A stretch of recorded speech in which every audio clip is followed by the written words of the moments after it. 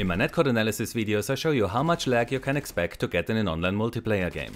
And in my videos which are about input lag or system latency, I show you how fast the game responds to your input and I explain how technologies like G-Sync, the reflex low latency mode, anti-lag, V-Sync, high refresh rate monitors and many other things affect how responsive a game feels. A topic that I did not talk about much yet is audio delay, which is the time from pressing a button to the sound triggered by that input leaving your sound card. To measure that button to audio delay, you place your headphones next to your mouse, and then put a microphone between them close to the left mouse button.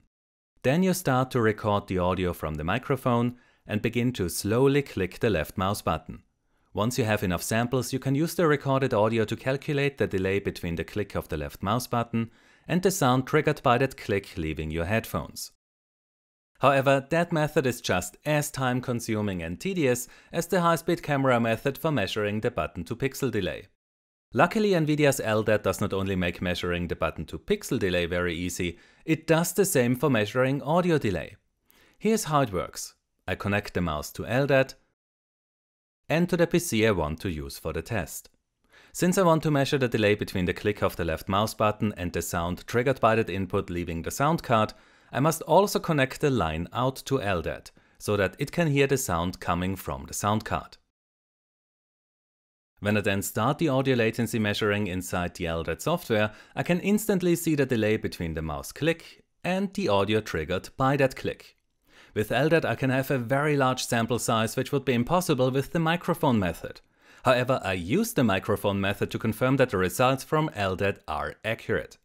So in today's video, which was made possible by the support of my awesome patrons, I will show you how much audio delay you get in three different games and if it is possible to reduce it. In my last video I showed you how playing at a high frame rate not only reduces the button to pixel delay, but also makes it more stable. Now let's see if the same is true for the button to audio delay. But remember that we are measuring the time from pressing the left mouse button to the audio triggered by that click leaving the sound card. The monitor and its refresh rate are not a factor here, as LDAT listens to the audio coming from the sound card. So with VSync enabled at a refresh rate of 60 Hz, I measured an average button to audio delay of 78.2 milliseconds in CSGO. In Fortnite the audio delay is significantly higher with an average of 109.9 milliseconds. In Overwatch the delay is even longer with an average of 148.1 milliseconds. This shows that just like the button to pixel delay, the button to audio delay is also different for every game. As you know, VSync significantly increases the button to pixel delay because of the back pressure it creates inside the rendering pipeline. However, VSync does not affect the audio delay in any way. So how about playing at a higher frame rate? Increasing the frame rate to 360 FPS had no impact on the audio delay in CSGO. However, in Fortnite as well as Overwatch, the audio delay was reduced by about 12 milliseconds, most likely because they process input at frame time rather than at a fixed value. Now, what happens when you increase the sample rate from the default of 48,000 Hz to 96,000 Hz, which according to the internet should reduce the audio delay? But as you can see, doubling the sample rate did not reduce the delays. Then how about using a different sound card? The internet tells us that onboard sound chips are really bad when it comes to audio delay and that especially external sound cards or DACs are much better. But when you look at my results from CSGO, you can see that the quite popular Mayflower ARC MK2 actually causes more delay, not less. The same is true for the FiiO K5 Pro. Then how about a PCIe sound card like the ASUS Essence STX2? According to the internet, that should have even less delay, as it uses PCIe and not USB. Then how about using the low DPC delay UNi Xonar driver, which should have even less delay than the driver from ASUS? So, since I expect to get many comments about this, let me make clear that I've seen the exact same latency increase no matter which USB port or PCIe slot I used. In addition to this system, I also did the same tests on an ASUS Crosshair 7 Hero mainboard with a Ryzen 3700X CPU, and on an ASUS Strix Z490E gaming mainboard with an Intel 10700K CPU. The results did vary by a few milliseconds, but the outcome was the same. The external DACs showed more delay than the onboard sound chips from Realtek, and the ASUS sound card had even more delay than the external DACs. I also disabled all power saving modes for the USB controllers.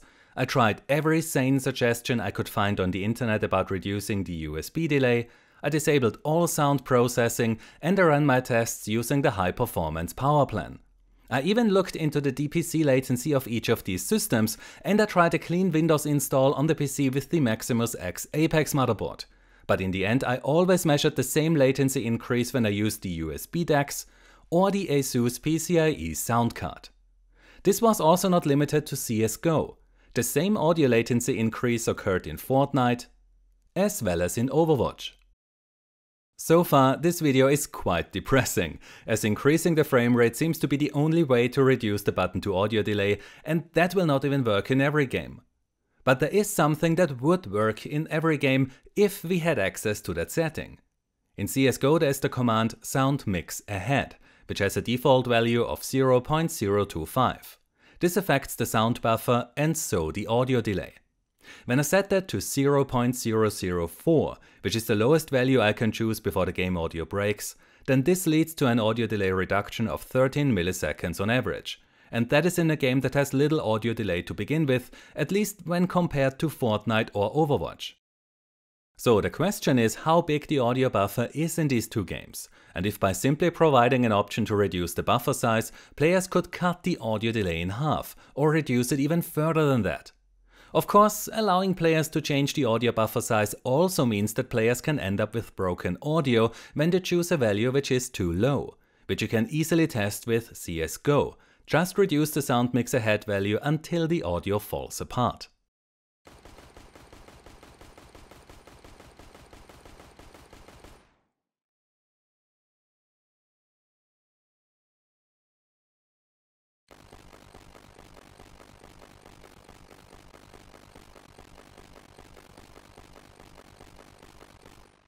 So I can see why developers might not like to give players the option to mess with the sound buffer.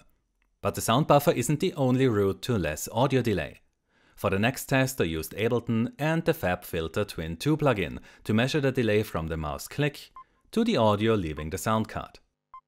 With MME and the buffer set to the default of 4096 samples, I measured an average button to audio delay of 135.9 milliseconds with the onboard sound chip, and 150.8 milliseconds with the FiiO K5 Pro.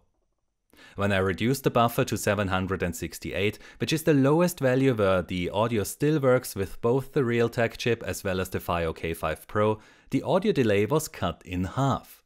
Now, besides MME and WDM audio drivers, there is also ASIO, which is supported by the FiiO K5 Pro. When I have Ableton use ASIO instead of MME, then you can see where that recommendation to use an external DAC for less audio delay is coming from, which is usually made by musicians who use applications that support the ASIO driver, which games do not. Of course, there are also many other reasons to go for an external DAC, like superior audio quality, enough power to drive headphones which have an impedance of 250 ohm, and much more. So what I learned from this rather big test is that some games have more audio delay than others, and that in some games you can reduce the audio delay by increasing the frame rate. But if you want to significantly reduce the audio delay, you must reduce the size of the audio buffer or use the ASIO driver, which games do not allow you to choose. But do gamers even care about audio delay? This is a topic that I did want to make a video about for a very long time because as soon as you learned to use the sound of footsteps, shoutouts or gunfire to pinpoint the location of an enemy, you will get accused of using a wall hack by players who do not pay attention to any of these cues. So once you learned how to use the sound in a game to your advantage, you obviously want to get the most out of it, which means further reduce the audio delay. Another thing to consider is that as long as you play on a 60Hz monitor, maybe even with VSync enabled, the audio and button to pixel delays might not differ that much, especially in story-driven games. But as soon as you play a competitive game at a high frame rate on a high refresh rate monitor, the button to pixel delay gets much, much shorter than the audio delay. So what you see on your display is not in sync with what you hear. Once you start to use the audio of a game to your advantage, that delay can get very obvious and annoying, especially when you use a sound card which increases the audio delay even further. So while I can understand why developers do not want to give players access to a setting that affects the size of the sound buffer, as you can completely break the audio of a game by choosing a value that is lower than what your sound card and the driver can handle, I would still like to see developers at least expose that option in the config file for competitive players to reduce the audio delay. And maybe even provide competitive gamers with the option to choose ASIO should their sound card support it. That said, I would like to see developers pay more attention to the audio delay in their games and try to have it match the expected button to pixel delay as closely as possible to ensure that what players see is in sync with what they hear. And that's all for today. I want to thank my fine patrons for their awesome support which allows me to create videos like this one. If you would like to join them then you can find a link to my Patreon page in the description. If you enjoyed this video then please give it a like, subscribe for more, ring the bell to get notified when I upload my next video and I hope to see you next time. Until then, have a nice day and take care. My name is Chris and this was Battle Nonsense.